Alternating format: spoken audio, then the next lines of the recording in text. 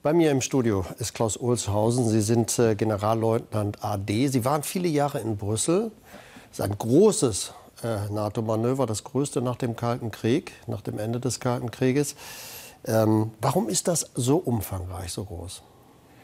Ich glaube, das hängt mit äh, den Entwicklungen seit 2014, also mit der Annexion der Krim und mit der Unruhe in der Ostukraine natürlich zusammen, auch mit den Maßnahmen, die im Südosten passieren, die Unruhe, die wir dort sehen in der Peripherie.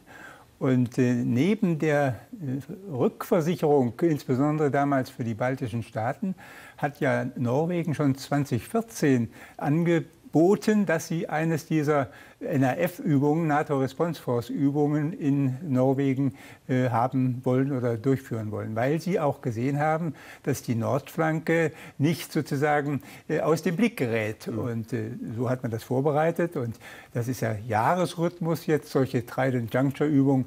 Dieses ist eine besonders äh, große im Blick auf das, was nach 1990 passiert ist. Aber mit Blick auf das, was wir bei Reporterübungen äh, gesehen haben, ist es natürlich eine eher begrenzte Übung. Aber sie übt vor allen Dingen auch, wie man Truppen dieser Größenordnung aus verschiedenen Ländern über weite Entfernungen zeitgerecht zusammenführt zu einem gemeinsamen Auftrag. Das sind alle 29 Mitgliedsländer der NATO plus Finnland plus Schweden, insgesamt 50.000 Soldaten, die jetzt zurzeit in Norwegen, das heißt seit dieser Nacht, äh, dieses Manöver durchführen. Ähm, warum müssen da auch immer alle zusammenkommen? Ich denke, für eine, ein Bündnis ist es wichtig, wenn man einen Fall übt, wo der Artikel 5, also die kollektive Verteidigung des Bündnisses eine Rolle spielt, dass alle zeigen, wir sind dabei. Natürlich sind die kleinen Nationen dort mit sehr kleinen Anteilen, manchmal nur mit Stabsanteilen verfügbar. Also ich kann mir nicht vorstellen, dass Albanien äh, mit einer großen Kontingent dort ist, aber sie wollen auch zeigen, dass sie solidarisch sind mit allen anderen. Und das ist ein Signal nicht nur nach innen, für die Rückversicherung jedes einzelnen Staates, sondern auch ein Signal nach draußen.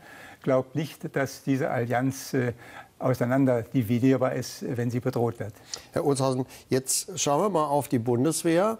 Die ist nach den USA mit dem größten Kontingent vertreten. 10.000 deutsche Soldaten sind direkt oder indirekt beteiligt. Warum so viele Deutsche im Anteil? Also einer der wesentlichen Gründe, warum der deutsche Anteil so groß ist, ist, dass die Deutschen äh, die Brigade stellen, die zu der sogenannten schnellen Eingreiftruppe der VJTF im nächsten Jahr gehört. Und für die Panzerlehrbrigade, die den Kern dieser Brigade darstellt, ist das ja gleichzeitig die Zertifizierungsübung, dass sie alle diese Dinge, die sie da erfüllen können muss, nun auch zeigen kann. Und wenn man heute mit einer Brigade des Heeres äh, sich sozusagen zeigt in dieser Form, dann braucht man viele Soldaten aus der Streitkräftebasis, äh, dann braucht man Soldaten aus dem Sanitätsbereich Jetzt braucht man auch Soldaten aus dem Bereich des Cyberkommandos. Also wenn Sie das alles zusammennehmen, dann sind Sie relativ schnell bei einer Größenordnung von 10.000 äh, Mann. Und wenn Sie die Liste, äh, die das BMVG herausgegeben hat, ist, glaube ich, eine DIN A4-Seite der Einheiten und äh, Truppenteile, die unterschiedlichster Art dort teilnehmen. Wenn Sie da die Personalstärke dahinter stellen, dann sind Sie relativ schnell bei 10.000 Mann. Und dann muss man sagen, das ist ja erstaunlich. Das ist im Grunde genommen ein zwar kurzer, aber Großeinsatz, wie wir ihn auch in, wenn Sie so wollen, Stabilisierungseinsätzen hatten. Ein Kontingent dieser Größenordnung, was ja dann auch über ein Jahr lang in dieser hohen Bereitschaft äh, bereitstehen muss, wenn sie zertifiziert sind.